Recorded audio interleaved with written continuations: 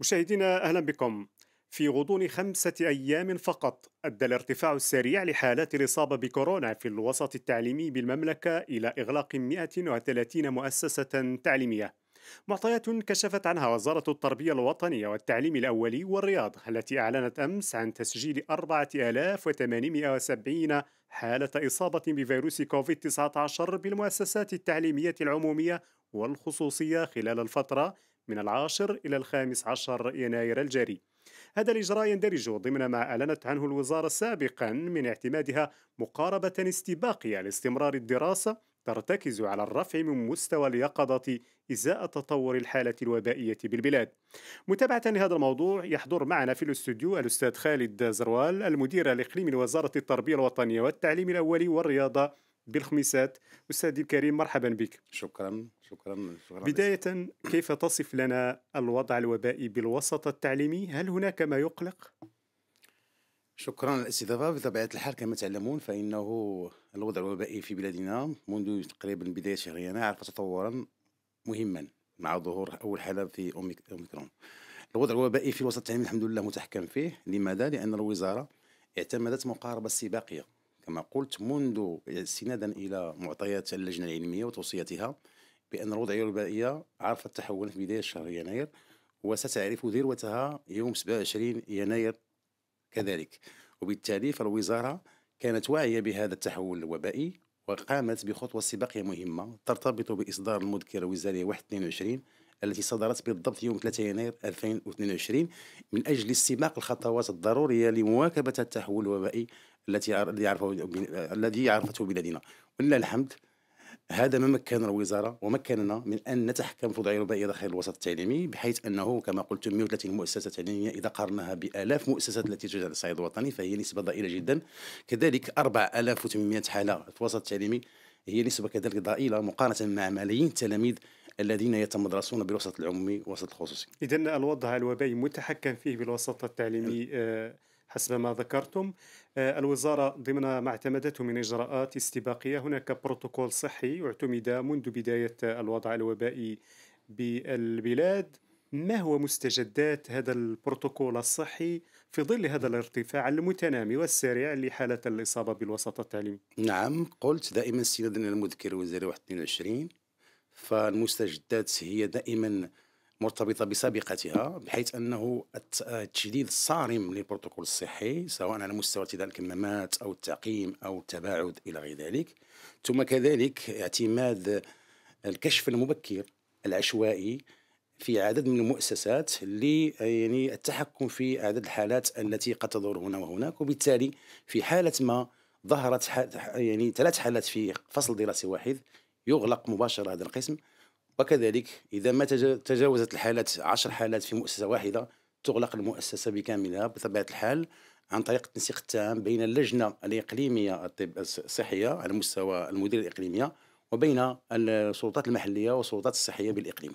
طيب آه، أمام تنامي آه، حالات الإصابة بكوفيد 19 وإغلاق آه، العديد من المؤسسات التعليمية التي ربما هذا الرقم لن يكون الأخير في ظل يعني التوقعات بأن تبلغ المملكة ذروتها في الإصابات في الأيام القليلة المقبلة. هنا يطرح سؤال ما مصير الامتحانات آه، يعني الامتحانات الموحدة المقرر إجراؤها في فاتح فبراير المقبل؟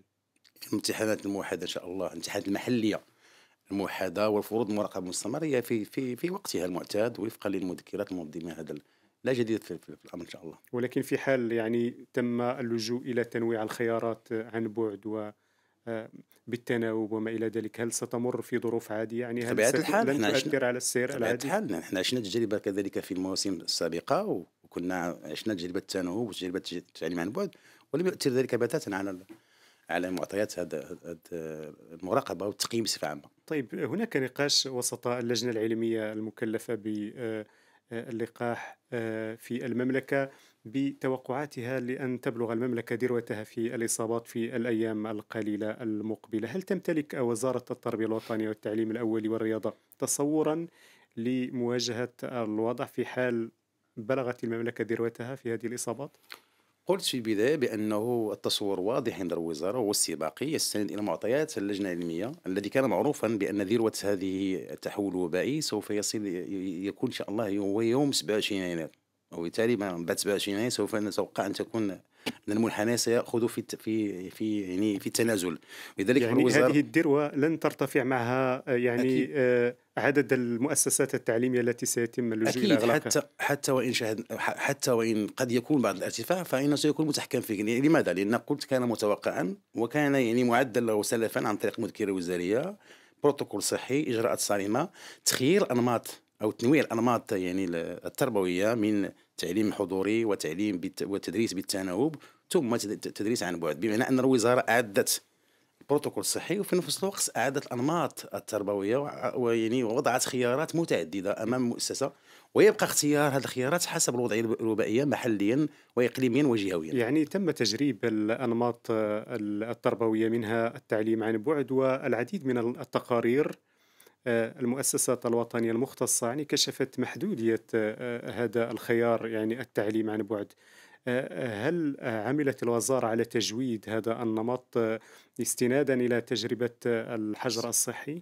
أكيد كما قلتم فعلا بأنه تقييم التجربة يعني يبين بأن التعليم الحضوري بطبيعه الحال هو ربما يعني أكثر فعالية من التعليم عن بعد وهذا أمر عادي جدا نظرا لأن التعليم الحضوري يعني فيه التفاعل البيداغوجي مباشر بين التلميذ وبين المتعلم وبين الأستاذ إلى غير ذلك. التعليم عن بعد بطبيعه الحال كما قلت بالنسبة للتجربة ديال هذه السنة هذه كما جاء مذكرة 22 التي أطلقتها الوزاره يوم 30 يناير اشتغلت على هذه على هذه الانماط الثلاث واشتغلت كذلك على تجويدها خاصة الجانب المتعلق بالتدريس بالتناوب وبالتدريس عن عن بعد واخذة بعين الاعتبار أن هناك عالم قروي يعني ربما لأنه في يعني الولوجيه الولوج إلى ال إلى ال إلى الإنترنت هو محدود نسبيا في بعض المناطق. لهذا في المذكرة تقول بالحرف أنه ينبغي اعتماد خيارات رق يعني إلكترونية مناسبة لهذا الوسط القروي بمعنى أننا تنص المذكرة على اعتماد وسائط التواصل الاجتماعي الأكثر تداولا في العالم القروي. وأقصد بذلك الفيسبوك والواتساب. يعني مثلا في بعض المناطق التي يصعب فيها الحديث عن أقسام افتراضية التي تتطلب ربما صبيبا عاليا من الإنترنت. يعني الوزارة واعية بهذه الإشكال في إطار التجويد يعني نصت على اعتماد هذه الوسائل الاجتماعية الأكثر تداول كذلك في نفس الوقت المذكر دائما تنص بأنه ينبغي أن نجد بدائلا بيداغوجية في العالم القروي الذي يتعذر فيه يتعذر فيه كذلك الربط بالان الإنترنت. ثم نصت المذكرة كذلك على تعبئة كل فاعلين المجتمع المدني وكذلك الجماعات المحلية في العالم القروي من أجل المساهمة في اقتناء الأدوات وال والحوامل البيداغوجية يعني مثل لي تابلت من أجل تيسير عملية الولوج إلى هذا التعليم عن بعد دائما في إطار استراتيجية الوزارة الرامية إلى تطوير ما يعرف بالتعليم الرقمي لأن التعليم الرقمي أثبتت الوباء يعني هذا الوباء هذا أثبت بأنه أصبح ضرورة وأصبح جزءا لا يتجزأ من إلى بغينا نقولوا واحد الباراديغم متكامل فيه آه، ديال التعليم اللي ضروري خصنا ناخذ بعين الاعتبار التعليم عن بعد عفوا أو التعليم الرقمي بصفة عامة كخيار استراتيجي. غادي نحتاجه أكيد في المستقبل على المدى في المستقبل سواء على المدى المتوسط أو المدى البعيد. أه، أستاذ الكريم كيف تصف لنا الوضع الوبائي محليا وهذه المرة على مستوى الخميسات التي تشرفون على إدارتها؟ شكرا أه، خميسات الحمد لله لحد الآن تم إغلاق مؤسستين واحدة عمومية والثانية خصوصية منذ يوم الجمعة الماضي. الإغلاق سيستمر لمدة سبعة أيام يعني إن شاء الله يوم الخميس المقبل سيعود هؤلاء التلاميذ إلى التعليم الحضوري بعد أن تحولوا إلى التعليم عن بعد.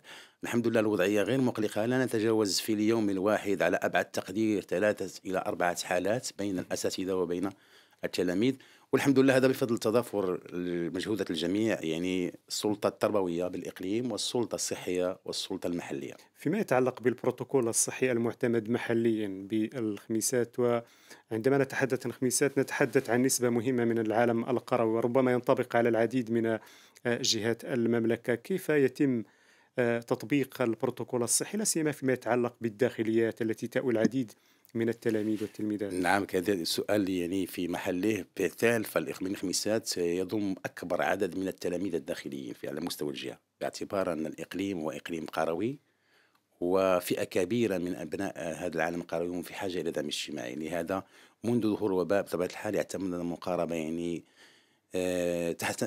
تحترم البروتوكول الصحي الخاص بالداخليات بحيث أننا اعتمدنا ما أمكن تنويع الفضاءات لاستقبال التلاميذ لأن يعني تقليص عدد التلاميذ إلى 50% ربما قد يكون فيه ضرر كبير على التلميذات والتلاميذ وعلى تحصيلهم الدراسي وربما قد يؤدي إلى هذا الدراسي لهذا نحن لجأنا إلى خيار ثاني وهو تنويع الفضاءات الاستقبال حتى يكون هناك تباعد على مستوى الإيواء. أما على مستوى المطعمة فبطبيعة الحال الأمور على كل مستوى على كل مائدة لا يتجاوز عدد التلاميذ أربعة تلاميذ كما كذلك لجأنا إلى خيار الوجبات الفردية عوض الأكل الجماعي دائما لاحترام البروتوكول الصحي. وعلى مستوى كذلك المؤسسة التعليمية كذلك نفس الشيء نعتمد التباعد ونعتمد يعني الكمامات والتعقيم إلى غير ذلك من الإجراءات الصحية المواكبة. الأستاذ خالد زروال المدير الإقليمي لوزارة التربية الوطنية بالخميسات كنت ضيفنا نشكرك على حضورك معنا. شكرا لكم.